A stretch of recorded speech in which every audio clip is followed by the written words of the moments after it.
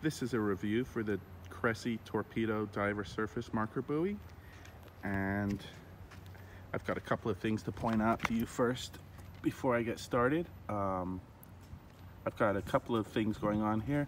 I read in some reviews that the flag can fall off and get lost, so I put a little tether on it. It's just a little drawstring from a box. And um, I have my own shot weight, which is uh, four pounds under there. And I do want to point out that the reflective strip does work and I've got some night footage of this. And I just wanted to put it in and see how it performs with the tether. So let's put it in and see how we're doing. Okay, so a lot of people complain that this tips over to one side or the other. That's true. The main reason is because the flag actually has this metal wire that keeps it, um, uh, you know, full.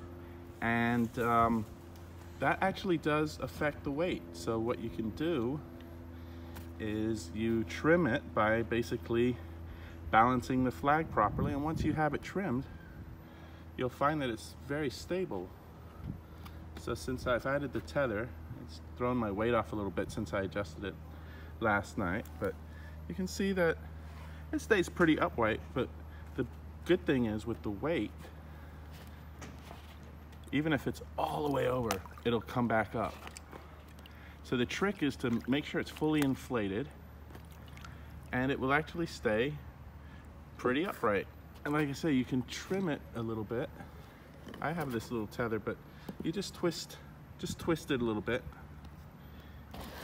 and that will that will center the weight. You just want the, the weight centered starting off. Once once you have that once you have that, it's gonna stay nice and upright for you, even with the breeze.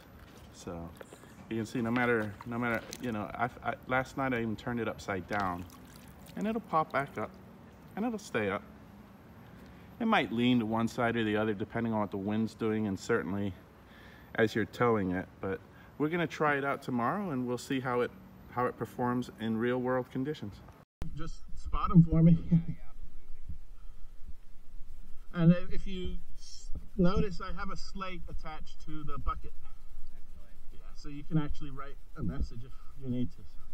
But yeah, let's go. Let's